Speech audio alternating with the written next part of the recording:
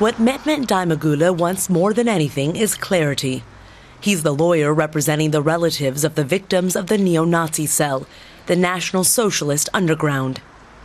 The cell's only survivor has now been charged. Beate Zschäpe. The two other members, Uwe Mundlos and Uwe Böhnhardt, shot themselves before they could be arrested. Even though it's believed that Zschäpe was never actually present at the scene, she has been charged with the murders of 10 people. Not only did Miss Zschäpe help, she was right in the thick of this terror cell. She was a full member of this killing commando, and we want her to be sentenced as a murderer. This is not just about the sentence, which we hope will be a life sentence. It's also about making a point. This woman has blood on her hands. Zschäpe Mundlos and Böhnhardt evaded authorities for more than 10 years, laying bombs, staging robberies, and committing murders. Almost all of their victims had immigrant backgrounds. Mundlos and Böhnhardt are believed to have carried out what amounted to cold blooded executions. The role played by Beate Zschäpe remains unclear and has yet to be fully established by the prosecution service. The defendant gave the NSU a semblance of respectability. She was responsible for creating a facade of normality in the places where the cell lived. That was the only way they could ensure that their shared accommodation could serve as their refuge and as the terrorist cell's headquarters. Zschäpe faces the toughest charges prosecutors could bring against her, but prosecutors are taking a risk. From the outset, the investigation into the murders was hampered by a series of blunders.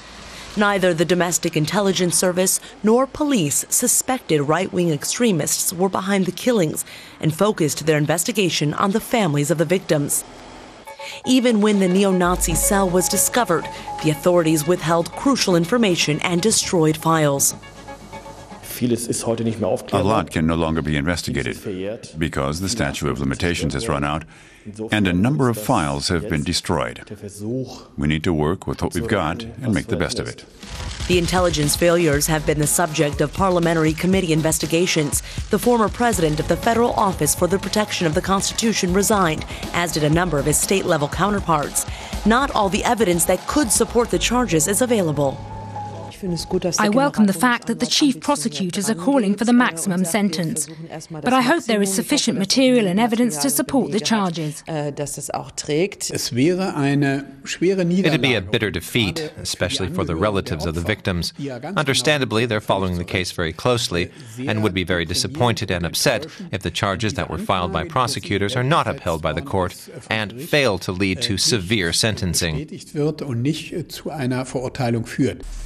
The only person who can clear up many of the remaining mysteries is the defendant, but she's given nothing away while in detention the past year.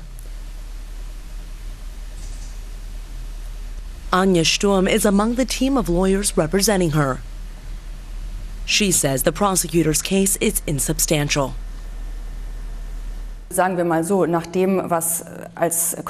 Let me put it this way. I believe that the case, as it has been presented as grounds for the charges, is inadequate because it's based on the subjective notion that it's enough to show that she wanted to commit the crime.